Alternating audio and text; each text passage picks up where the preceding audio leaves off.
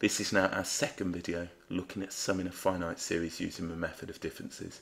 If you didn't see the first video, please do watch that as it's got some of the main learning points in.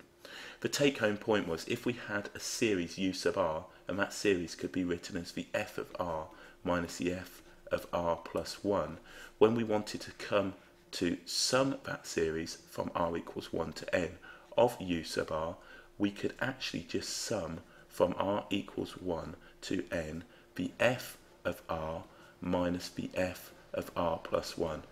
Um, that's a little theory heavy, but hopefully you'll see what it, it, it means as we go on. In this question, it says given that 1 over r multiplied by r plus 1 r plus 2 is identical to 1 over 2r r plus 1 minus 1 over 2r plus 1 r plus 2, we need to find the sum from r equals 1 to n of 1 over r, r plus 1 r plus 2 using the method of differences. All this is saying is if we want the sum of this right here, if we sum this here manually using the method of differences, we will get the sum of this. And this is what this is saying. So we've written the series u sub r in this form. So if we sum a series from 1, r equals 1 to n of this, we'll get that. So let's start here. Let's start with r equals 1 what we will see is, and these are often called telescoping series, they collapse in the middle. So what we're going to have here, and you might want to write this, I'll write it, I'll write the first couple by the side.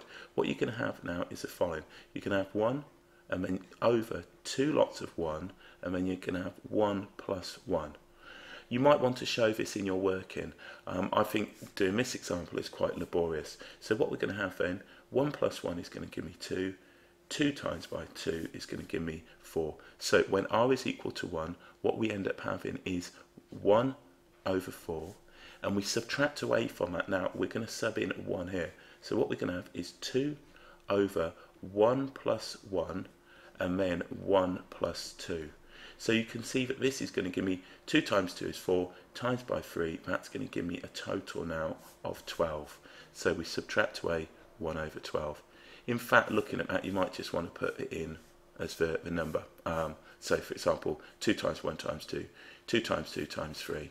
And you'll see what happens is this pattern is building up. We take r equal to 2. So if we sub in 2 here, what we're going to get is 2 times 3. And then we're going to get this part right here is going to be 3. So 2 times by 2 is going to give me 4 times by 3 is going to give me 1 over 12. And again, you might want to show that in your workings in an exam. If we sub in 2 here, that's going to give me 3, and that's going to give me 4. 2 times 3 times 4, we're going to have 1 over 24. Taking r equal to 3, we're going to get now 2 times 3 is 6, and then 3 plus 1 is 4. 3 times by uh, 2 times by 3 is going to give us, uh, times by 4, sorry, is going to give us 1 over 24. Again, in your workings, you might want to show that as 1 over now 2 times by 3 times by 4 and then on the next one what we'll do is 1 over 2 multiplied by 4 multiplied by 5 okay? So this is what we wind up with. So you can see on the next one we're going to get 1 over 40 if we were of course to do now the next one and the next one is going to be r is equal to 4 then what we're going to get in this one that's going to give me 5 that's going to give me 8 and we're going to have now 1 over 40. Again, you might want to show that here. If we take r equal to 4 on this one, we're going to get 5, and then we're going to get 6. 5 times by 6 times by 2 is going to give me now 1 over 60. As you can see now, the pattern is starting to emerge that these are going to cancel out. When we add this, when we sum this, 1 over 12 minus 1 over 12 is going to go 1 over 24 minus 1 over 24. 1 over 40 minus 1 over 40 is going to go. So what we're now going to do is go down to r is equal to n minus 1. This now is the 1 before the n. This is the penultimate. So if we sub this in now, what we're going to get here is 1 over, and I'll write it to the side here, we're going to get 1 over 2 n minus 1. And then when we put it in here, n minus 1 plus 1 is just going to give us n. So we can write this here as 1 over 2n n minus 1. When we sub it into this one, what we're going to get now is the following. We're going to get 1 over 2 n, uh, the n minus 1 going into here is going to give me n, and then the next one is going to be n plus 1. So we can write this now as 1 over 2n n plus 1. And finally finishing with r is equal to n, if we sub that in, r is equal to n, what we're going to have is the following.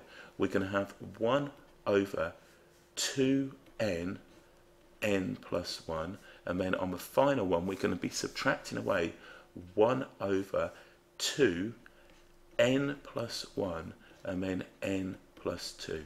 Okay, so that's our last one. So when we sub these in, we've got now 1 over 2n and then n plus 1 minus 1 over 2 n plus 1 n plus 2. So all we've done in the middle, you might want to put dot, dot, dot, dot, dot, dot. Everything in the middle is going to cancel out. Consider this is going to go with this one. This will go with this one. When you add those two together, they're going to disappear. And remember, we're summing this. I've just left, obviously, the middle out because it's pointless trying to trying to do anymore. So you can see now that this one is going to go with the one above it, that one is going to go, and they're going up to the right. So all we're left with now is the following. The sum, and we can write this now, the sum from r equals 1 to n of this right here, which is 1 over r, r plus 1, r plus 2, is going to be equal to 1 quarter minus 1 over 2 n plus 1 n plus 2. All that's left for us to do is tidy this up.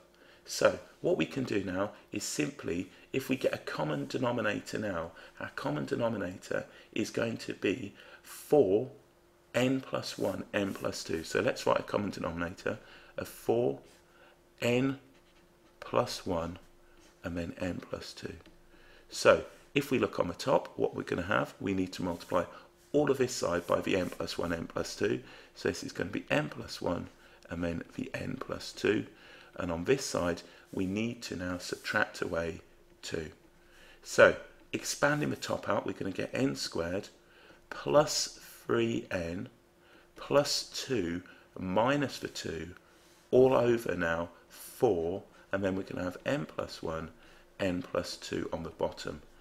Quite clearly these 2's are cancelling out, so we'll be left with n squared plus 3n, which we can factor to n, n plus 3, all over 4, and then we've got n plus 1 and n plus 2.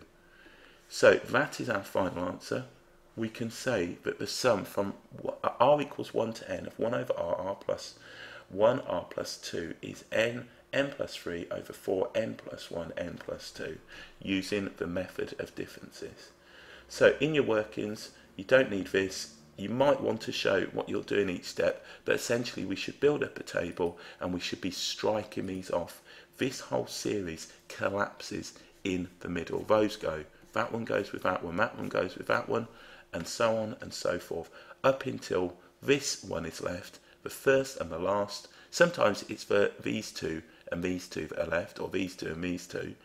But in this case, we've all we've got to do is add one quarter and negative 1 over 2, n plus 1, n plus 2, tidy it all up and write our answer.